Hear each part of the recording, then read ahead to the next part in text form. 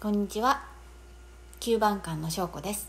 今日はえっ、とブラウンライス玄米をお鍋で柔らかく白米のように炊くという方法を紹介します。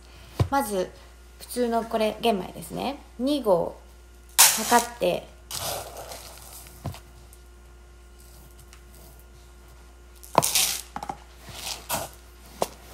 これを洗って水につけます。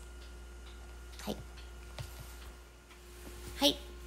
お米を3時間お水にこうつけました。えっとお米を見てもらうと分かるんですけどちょっと待ってくださいねお水を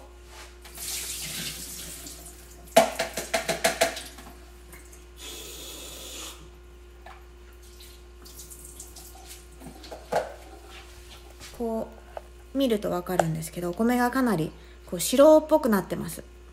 これで準備はできましたなのでここからえーっとあそうだ。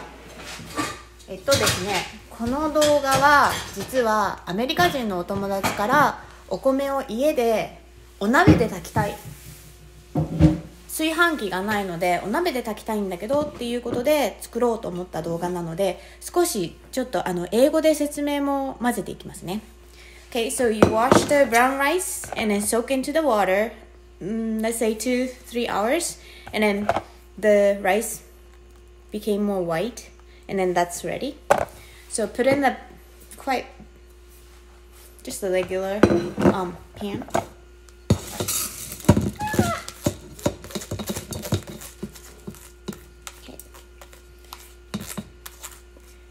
お鍋入れますねそしたら今度お水ですが 460ml 460cc so we're gonna put the water about uh, 460 milliliter or cc so um お水を測って入れます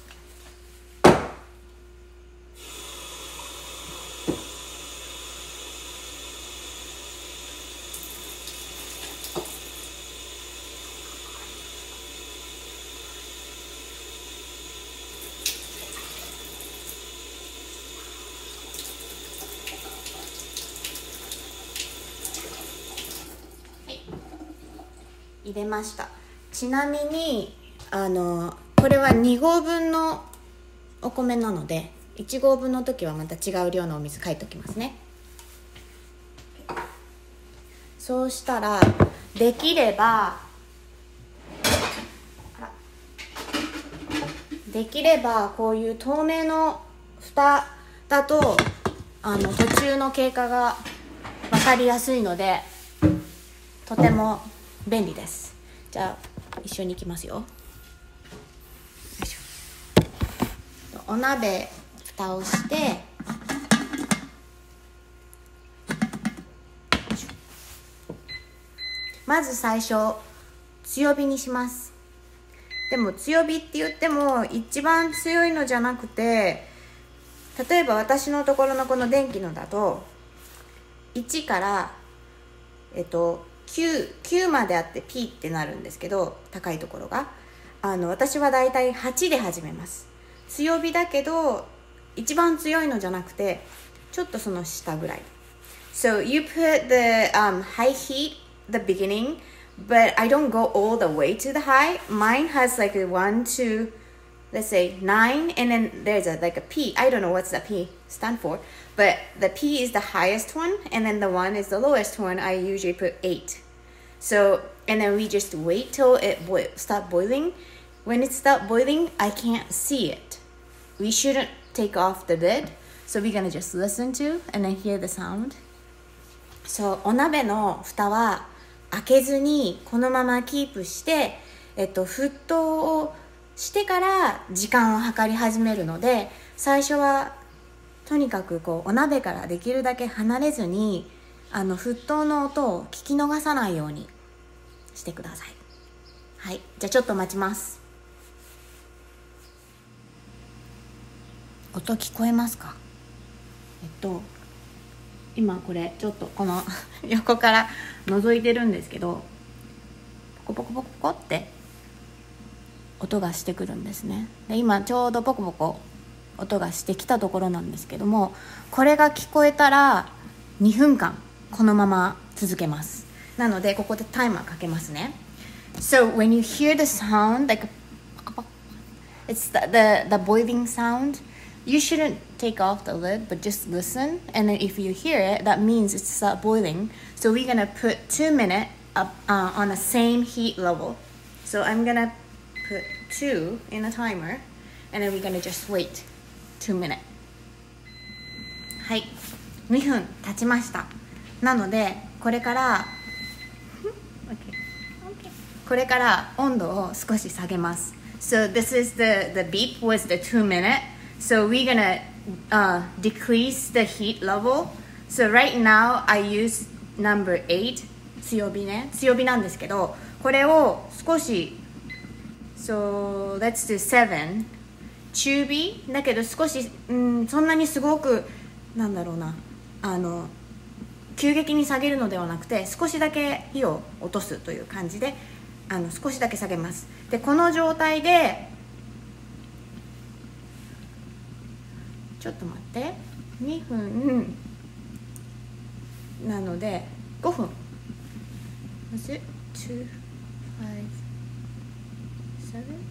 はいそうです。ごめんなさい5分ですこの状態でこの中火にかけた状態で5分間なのでまたあの5分のタイマーを入れますね345はい So um, we decrease the heat to number seven. It's still in the like higher side in the middle heat. And then I added five minutes, so we're gonna keep it five minutes. This is the time that possibility is the um, stuff coming out. So just watch out. Okay? あのこの時期に吹きこぼれの確率がありますので。えーと、私の場合はこう吹きこぼれてもすぐに拭けて大丈夫なんですけど使ってるそのあのなんていうんですかガスだったりとかその下が下がどういう風になってるかで吹きこぼれると困るわっていう人はちょっと注意をしてあの見ててくださいね。はい。じゃああと5分間待ちます。このままあの待ちながら吹きこぼれそうになったら少し温度を下げても大丈夫ですしうちのだったらこうふって上げれば下が電気なのでそれでヒュッて下がることもあるので、まあ、そこら辺は自分で様子を見ながら。はい。吹きこぼれてきそうです。これ見えますか？ちょっと上げますね。これポコポコポコポコ。すいません。これ中がこんなにボコボコしてるんですね。なのでこの位置からこう吹きこぼれてきたりとかこっちから吹きこぼれたりとかあるんで、これ熱いのであまり顔を近づけないように気をつけてください。Watch out, this、um, steam is really hot. So especially for kids, do not put hands out. Or face out, okay? You don't want to get burned. So, じゃあこのままちょっと様子を見ます。はい。えっ、ー、と、今こんなになってますけど、私間違えました。3分です。最初に強火で2分やった後少し緩めたら今度3分です私さっき5分って言いましたよね3分の間違いです今3分になってあのピーってならなかったんですけど間違えて押してしまったので。3分経ったらえ、ー、とえっ、ー、と弱火じゃないですね。中の下ぐらいですね。私の場合は5の今5の下にしたんですけどこの5の下に 5の下にした状態で今度は5分から7分。えっと、5分から7分はあの5分経った頃にちょっと様子を見てあの鍋の中のお水の量とかを確認してということなので、えっと、数字的には強火で3分。少し下げてあ違う。強火で2分。少し下げて3分。でその後に5分から7分っていうふうになるので後でちゃんと書いておきます。すいません。間違えました。ですね。なのではいじゃあ英語でいきます So I said the wrong thing the first two minutes is the high heat right it's number eight the high heat and then goes to the little bit lower heat that I use number seven is three minutes I said five minutes, but it was wrong. Three minutes. When you reach to the three minutes, you decrease the heat again and then do five to seven minutes. Okay? So two, three, five is the number. Okay. So um, right now, I needed to add more time for this one. And I, I will show you when it's done with the five minutes done. Okay, so I'm making sure I write it down on the um, whatever screen or description or whatever. So, but the two minutes, three minutes, and then five to seven minutes. Okay, so um, I'm gonna just wait a couple more minutes. はい、今5分経ちました。ちょっと待って。So this is five minutes, right? So I'm gonna check the water amount. じゃあ一見せますね。えっ、と一回ちょっと止めま止めなくていいかな。蓋をここで初めて開けますね。でこうやってお水が出てこなければもう OK です。なので今度今ちょうど5分やったとこなんですけど止めました。えっと、電気は止めてここから蓋をこうした状態で10分間蒸らしますはい So I said 5 to 7 minutes at the last um, cooking time. I only did 5 minutes but you sew it. There's no water coming out. It's done. So now it's time for you to place the lid back on. Turn off all the heat.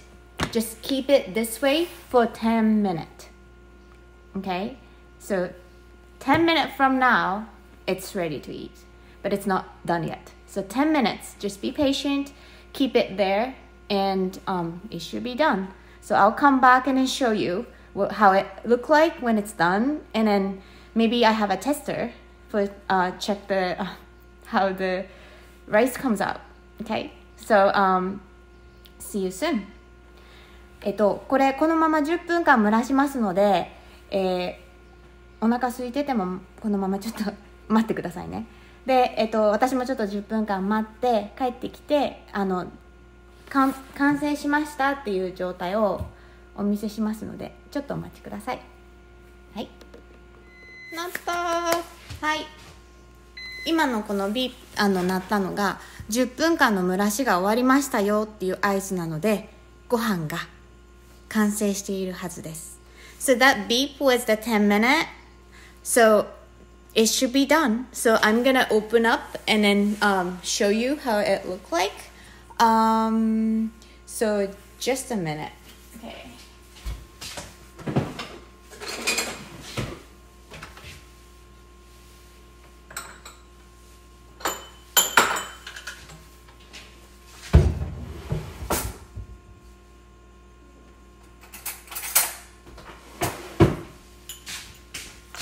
Hi. えー、っとお米は今これ熱いので気をつけてくださいね。えー、っ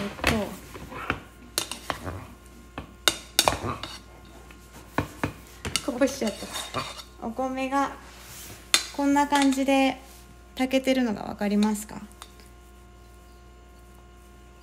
えっとお茶碗に少しお茶碗に少し取ってみますね。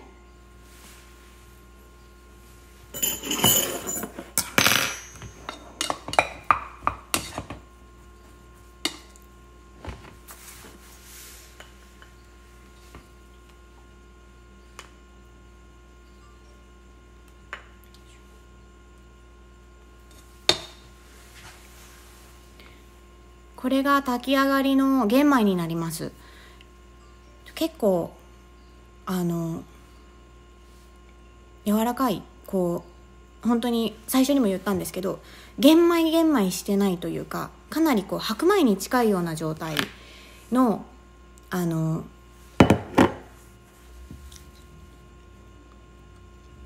うん。あの白米に本当に近い状態の柔らかい柔らかい感じのご飯に出来上がってます So um I made brown rice this way um and then it's it's really tastes quite close to white rice. Um, some people prefer brown rice and white rice, and then um, the same way you could make the white rice too. But especially for the people who makes brown rice that want to want to taste more like a white rice to like a soft texture. This is um, the pot making rice. It actually works really well.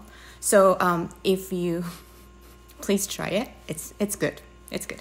So あの私はあの玄米をあの食べてるんですけどこのやり方でやると本当に白米を食べているような感じでかなりこう柔らかいおい、うん、柔らかいもちもちした玄米が食べられるのであのもし食べてみたいなっていう人がいたらぜひ作ってみてください。お鍋。はい。ここで一つあのおまけ？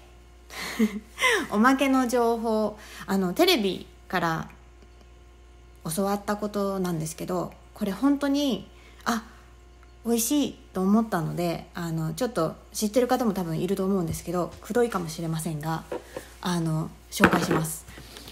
えっとおにぎりをお昼に持って行ったりとかあのお弁当に持ってくことってあるじゃないですか。で私はあのすごくご飯が好きなので本当にご飯をよく食べるんですけどあのおにぎりってこう熱いのをこうずっと握ってきてたんですけど実はこう今これ炊き上がったさっき炊いたご飯ですよね。まだ湯気が出てますけどこれをあの私はこういうカップでだいたい1回1個のおにぎりの量を決めるのでカップにこう入れてサランラップサランラップを置いてこうご飯を入れてって言って量を測るんですけどこうした後のこのご飯をもう一個もう一個作ります。こうじゃあ今日おにぎり2個持ってこうっていう時にこうやって2つぐらい ご飯をこう握るようにあちょっと多いかも。あ多いかも。こう入れますよね。ででこれをこれを取り出してであのしゃもじでちょっとごめんなさい落ちました。食べます。しゃもじでこう広げて今見せますね。こうしゃもじでこういうふうに広げた状態でこうまあ置いてこれをこれをうちわで仰ぎます。あの冷めるのを待つのではなく人工的に冷まします。なのでこうパタパタパタパタってやってあのお米を握る前に冷ましてしまいます。なのでこうかけて。でこの時点で中身を入れる人はもうこう一緒に入れちゃっても大丈夫ですけどあのご飯を冷やしてしまいます。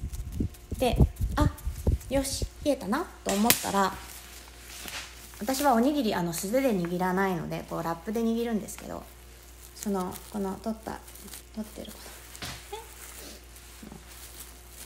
これをうやって握るんですけどまず熱くないですよね。全然これも熱くないのであのこう好きな形に 握れるしあとあの子供さんがいるところでじゃあ自分で今日おにぎり握ってこうとかっていう時に熱いご飯ってやっぱりちょっと子供に握らせるのって怖い怖いですよね。やけどしちゃったりとか。なのであの私はおにぎりは常に私が自分が握ってたんですけどもあのそのテレビ番組を見て人工的に冷ましてからおにぎりを作るっていうのを学んでからはあの子供にも自分のお弁当自分で作りって言っておにぎりこう作ることができますよね。でまあ、まあ、もちろんお塩とかかけてもらっても全然構わないんですけどあとは私はあのこのこうやっておにぎりを作って1人1回分のご飯をあのちょっと多く炊いて冷凍をしておくこともしてるのでこう今日ちょっと帰りが遅くなるわとかっていう時にあご飯炊けてないとかってなるとやっぱり困るじゃないですか。だからそれを考えて あの少しあのおにぎりも冷凍でキープするようにしてるのでその分はまずこう冷ましておにぎりにしてこう1回分ずつ分けてでこれをあの冷凍庫に入れて、えーと、と冷凍保管もできます。おまけでした。じゃあまたまたいらしてくださいね。